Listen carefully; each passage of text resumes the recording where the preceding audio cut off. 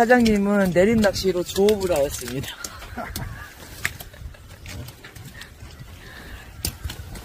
내림 낚시로 조업. 유후. 어, 이 새끼, 너 어디로 도망가?